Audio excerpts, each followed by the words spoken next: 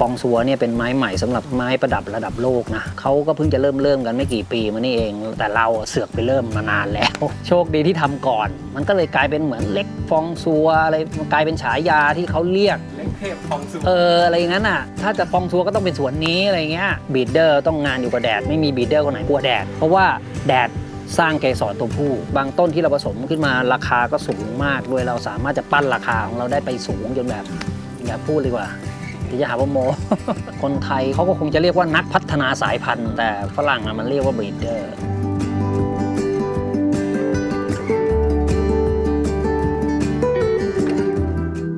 ระยะแรกๆเมื่อสักสิกว่าปีที่แล้วเนี่ยความสนใจของเราเราพยายามจะหาไม้อะไรก็ได้ที่เรามาผสมเพื่อที่เราจะได้ไม่ต้องไปตามล่าไม้ เราอยากจะทำอะไรสักตัวหนึ่งที่เป็นไม้เมนของที่นี่เราก็ไม่เห็นฟองซัวเนี่ย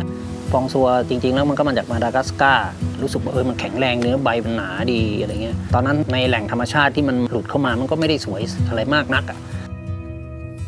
ผมเรียนจบจิตกรรมเพราะช่าง เราไม่ได้มีความรู้ทางด้านพืชพันธุ์อะไรมากนักเพียงแต่เราขยับตัวมาจากนักเล่น คือเราชอบชนิดนี้เราก็ซื้อเราจะจำชื่อได้แต่เฉพาะไม้ที่เราเล่น เราไม่ได้เป็นนักวิทย์สายพฤกษศาสตร์อะไร เพียงแต่เรารู้ว่าในพื้นฐานของสีเนี่ยมันผสมสีเนี่ยมันจะต้องออกมาเป็นสีนี้ แล้วเราก็เอาแบบนั้นมาใช้กับต้นไม้ แล้วเราก็มองว่าไอ้ปองซัวซีไอเนี่ยมันเป็นไม้ที่มีสีสันเยอะ เราสามารถจะสร้างสีมันได้ เราก็เลยลองผสมบางสวนเขาก็อนุรักษ์เขาก็พยายามรักษาสายพันธุ์นั้น ๆ ไว้ที่เขาได้มาจากในป่า มันจะเดินซ้ายกับขวาเลย อันนั้นทำยังไงก็ได้ให้เหมือนเดิมที่สุด แต่อีกแบบหนึ่งก็เป็นแบบเราก็คือพัฒนาไปเรื่อยๆ ชอบที่จะเห็นอะไรใหม่ๆอะไรเงี้ยเมื่อก่อนนี้มันจะมีแต่ใบเล็กๆแล้วมันก็มีพวก crassicaulis หลุดเข้ามาแล้วเราก็เอาพวกนั้นนะมาผสมกัน crassicaulis ก็กระดูกแดงๆธรรมดา เราก็เอาแดงจากตรงนั้น เอาไม้ที่มีความขาวจากตรงนั้นมาลองผสมกันดู แล้วก็หาอะไรใหม่ๆ แล้วก็ใส่เข้าไปใส่ใส่ใส่ใส่จน 10 ปีที่ผ่านมาเนี่ยมันกลายเป็นนิ่งไปแล้ว ได้ลูกไม้หน้าตาใหม่ๆ แล้วก็เก็บลูกไม้ไว้ที่เหลือแล้วก็ขายไปพัฒนามันมาเรื่อย จนมันกลายเป็นแบบแดงแป๊ดดำปีขาวจั่วเสน่ห์ของมันก็คือรูปร่างและสีความแข็งแรงของใบอะไรเงี้ยเราชอบกระดูกใบมันดูมันใกล้ๆ เราเห็นเม็ดสีมันชัดเจนมากเลย บางทีมันมาเป็น layer เลยนะ บางทีมันก็เป็นเม็ดพื้นขาวแล้วมี dot เขียวแปะอยู่ข้างบนผิวสีขาวเห็นเลย บางทีก็มีสีเขียวอยู่ข้างใน มีขาวเคลือบข้างนอก เราก็รู้สึกว่าเออมัน เป็นเสน่ห์ดึงดูดฟองซัวมันชอบร่มนะเนี่ยดูแสงนวลนวลนิดนิดเพราะว่าเราไปเห็นที่อื่นมา เราเห็นว่ามันอยู่ไม่ได้เราก็เลยรู้ว่าอ๋อมันไม่ชอบแดดมันไม่ชอบอากาศแห้งๆเวลาคนก็ซื้อไปแล้วเขาก็ชอบเอาไปไว้กับแคคตัส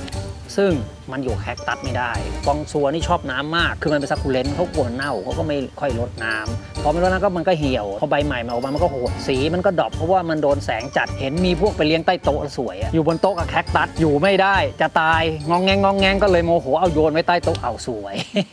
ปิ๊งเลย ไปปิ๊งอยู่ที่พื้น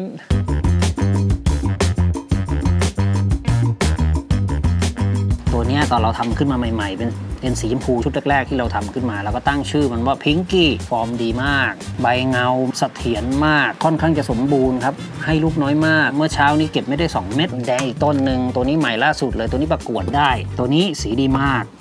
ฟอร์มใบสวย กระดูกใบสวย ค่อนข้างจะสมบูรณ์เลยแหละอ่าตัวนี้ชื่ออะไรนะครับ คุณครับขมแมวพุงนะครับนี่ออกอากาศอ๋อชื่อสวิตตี้ป่ะ หรือเปล่านะไม่รู้เหมือนกันนะใช่ไหมต่อไปครับ ตัวนี้มันออกม่วงนะครับ ปกติแล้วไอ้ง่ามที่เราทำขึ้นมาใหม่ในสีดำเนี่ย มันก็จะค่อนข้างจะดำๆหรือไม่ก็ออกไปทางเขียวๆแต่ต้นเนี้ยมันออกอมม่วงนิดๆมันเป็นมิติของสีใหม่ๆ ที่เราจะเอาไปต่อยอดได้ ควรจะต้องเก็บเอาไว้ทำต่อแต่อันนี้ ทำไมเราถึงเลือกที่จะเอามาเก็บไว้ทั้งที่มันก็ดูกระดกกระดก เราชอบมันตรงที่สะดือสะดือก็คือตรงนี้ก้นของใบมันนี่ ความโค้งของก้นของมันลึกลักษณะของใบมันกลมป้อมดีเราก็เลยคิดว่าเออมันน่าจะเอาไปทำได้ แล้วอันนี้ก็มันขาวดีมาก ความขาวของมันนี่แบบว่าเออมันก็ยังมีชมพูกินนิดๆอยู่ความสะอาดของมันมันก็ได้เรื่องอยู่ แล้วก็เลยจะต้องเอามันมาไว้ผสมต่อ อันนี้เป็นไม้ที่เกร ด double A ที่เป็นแม่พันธุ์นะครับของเราอ่าอันนี้ไม่ได้มีอะไรพื้นพื้นๆมากเลย แต่ด้วยความที่มันกว้างมากหน้าเก่า กระดูกใบเดิมๆเลย ไม่มีอะไรก็เขียวตองตองๆกระดูกชมพูอมชมพูนิดๆแต่มีความคม มีความกระชับกว้าง มันนิ่งมากเราก็เลยเออมันน่าสนใจนะต้นนี้ทั้งทั้งๆที่มันดูธรรมดามากเราก็เลยแยกมันเก็บไว้ทำแม่พันธุ์ต่อ ต้นนี้เป็นลูกไม้ใหม่เลย อันนี้ แทบจะเป็นมิติใหม่แห่งวงการลูกไม้เลยก็ได้เพราะผสมออกมาแล้วรู้สึกว่าฟอร์มใบสวย ดูแปลกตาออกไปแล้วก็มีขอบที่ใบลึกมี layer ของมันก็คือเป็นเขียวเข้มแล้วก็เป็นเขียวอ่อน มันดูแปลกตามากเลย แล้วก็ฟอร์มใบแปลก เราก็เลยคิดว่าน่าจะทำอะไรได้ดีในอนาคตเลยแหละทุกคนที่ชอบต้นไม้เชื่อได้ว่า จะอยู่กับต้นไม้ได้ทั้งวันโดยที่ไม่ต้องทำอะไรเลย ไปกินน้ำกินข้าวกลับมาดูต่อเงี้ยทุกวันนี้ก็ทำอย่างนั้น บางทีลืมนั่งประมาณ 11 โมงเริ่มหิวน้ำพอหย่อนก้นลงเก้าอี้ปุ๊บบางทีลูกน้องก็ยิน หรือแฟนก็จะได้ยินประจำว่า โอ้ยเสน่ห์ของมันอยู่ที่ความเงียบ เสียงนกเสียงลมรดน้ำดูใบมันขยับอ๋ออุ๊ยอุ๊ยมีหน่อและอะไรเงี้ย เดี๋ยวเอาวางไว้ก่อนเดี๋ยวอีกสักสองอาทิตย์จะมาแงะหน่อมันเอาไปชำอะไรเงี้ยมันมี อารมณ์ตอบสนองแบบของมันที่คนบางประเภทชอบ สมมุติเราเล็งเล็งสักสักดอกหนึ่งไว้ว่าเฮ้ยเช้านี้มันบานละตัวเมียมันจะบานหลายวัน แล้วตัวเมียมันจะมาก่อนตัวผู้ พอเช้านี้เราเห็นว่าเฮ้ยตัวเมียบานละเราก็ดูเวลาสัก 11โมงพอมีแสงมีแดดเสร็จปุ๊บเราก็เอาพู่กันเราหยิบอาวุธเรา มาจัดการมัน เอาเราก็ดูว่าตัวเมียลักษณะนี้มันด่างอยู่แล้ว เราควรจะเอาอะไรใส่กับมันดี ถ้ามันจะยังเป็นเขียวแบบเดิมอยู่ มันก็จะดูธรรมดาเกินไป จะเป็นเขียวด่าง มันก็จะไม่มี layer ของสี เราควรจะเอาสีเข้มใส่เข้าไปดีไหมเอาดำใส่ในอารมณ์ก็เลยตัดสินใจว่าจะเอาไอ้แบทแมนเนี่ยตัวผู้มันบานอยู่พอดี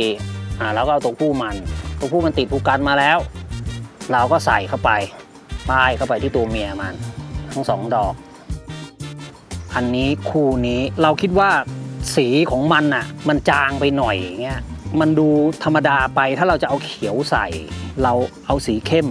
ใส่ มันออกมามันน่าจะมีความด่างของมันที่ที่อยู่ตรงสีเหลืองของมันอาจจะเป็นสีส้มอ่อนๆ เราก็จินตนาการได้ว่าเออมันน่าจะพิลึกกึกกือใช้ได้อยู่ สีมันไม่น่าจะดำมากมากมันน่าจะตุยตุยๆหน่อย แล้วก็เป็นง่ามง่ามๆแล้วก็เป็นด่างด้วยอะไรอย่างนั้น ความสนุกส่วนตัวมันมีเยอะมากทุกคนในสวนลูกน้องหรือว่าภรรยาเขาก็จะรู้ว่าเราค่อนข้างจะมีอารมณ์ส่วนตัวเยอะหน่อยบนเราเราตื่นเช้ามาปุ๊บเราก็จอกาแฟแก้วหนึ่งแล้วเราก็จะเปิดเพลงเราละ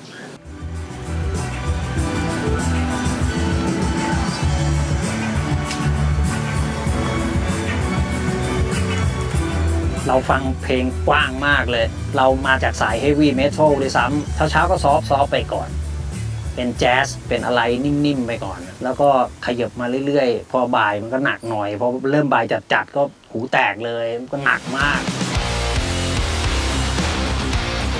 บางทีเราก็แตะตัวผู้ไปก่อน แตะตัวผู้อยู่ในมือเรากำลังจะหาคู่ผสม เราเดินเดินไปมีคนมาเรียกพี่เล็กปุ๊บเราก็คุยงานตึ๊ดตึ๊ดตึ๊ดตึ๊ดเสร็จปุ๊บเราถือผู้กันอยู่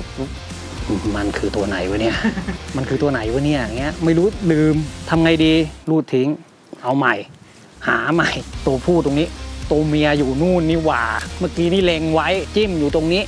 เอาข้ามไปตรงนั้น บางทีก็ต้องเดินอ้อมไปบางทีแต่แต่อยู่ไม่มีใครมาเรียกดอกถือไปถือมาเอาเฮ้ยอะไรวะเนี่ยถืออะไรอยู่วะเนี่ยอย่างเงี้ยเอาใหม่จุ่มน้ำผึ้งลบทิ้งหน่อยไอ้ตรงโต๊ะเนี่ยมันใช้สมาธิเยอะ เพราะมันเป็นเรื่องของสีมันสีมันเยอะมี2อสามชั่วโมงในการผสมไล่ไปเรื่อยๆ วนไปวนมาเราก็พยายามจะทำอะไรใหม่ ๆ สีใหม่ ๆ หน้าใหม่ ๆ มันก็เลยต้องใช้ imagine เยอะหน่อย เรามีความถนัดทางด้าน composition เรื่องรูปร่างของมันเรื่องสีเราก็เอาตรงนั้นมาใช้ อันนี้มันใช้ในเรื่องของการผสมสีจากใบสีแบบนี้สู่ใบแบบนี้แล้วเอาลูกมาเช็คดูว่าสีมันตรงตามที่เราจินตนาการไว้ไหมว่ามันเป็นอย่างนั้น มันไม่ได้เหมือนกับการเพนติ้งหรือว่าดออิ่งอะไร อันนั้นคือมันเป็นการเขียนรูปโดยใส่เข้าไปในเฟรม แต่อันเนี้ยมันมีชีวิต เราจะต้องควบคุมในเรื่องของการดูแล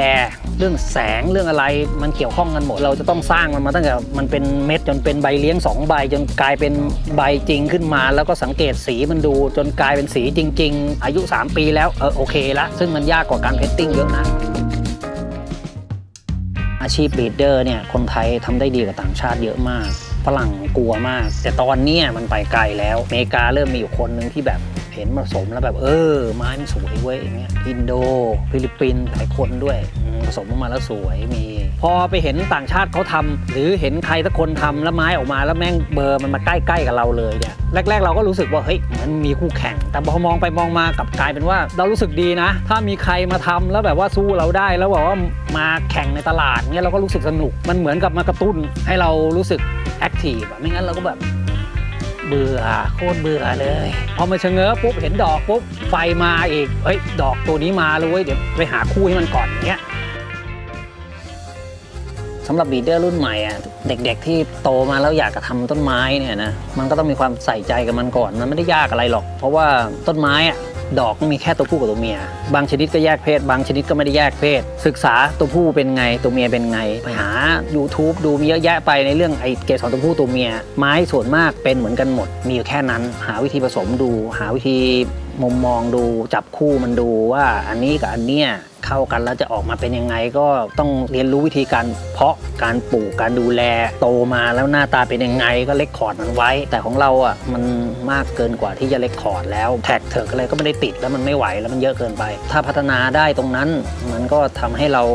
สร้างอาชีพสร้างรายได้ให้เราได้ แล้วก็มีการ พัฒนาสายพันธุ์ที่ดีในอนาคตข้างหน้า ไม่ว่าจะเป็นไม้ชนิดไหน ไม้ที่เราเห็นอยู่เนี่ยมันก็เป็นความภูมิใจของเราอย่างมากก็คือเราพัฒนามันจากที่มันสีมันแทบจะไม่มีเลย ใบมันก็ไม่ได้สวยอะไรเลย เราก็ทำมันจนกลายเป็นแบบเกือบมีจะมีทุกสีอยู่แล้ว ตอนนี้เราพยายามทำสีม่วงให้ได้อยู่พยายามจะบี้ม่วงอยู่ถ้าออกมาแล้วเป็นฟองซัวใบสีม่วงนะโอ้โหโลกตะลึงบอกได้พยายามอยู่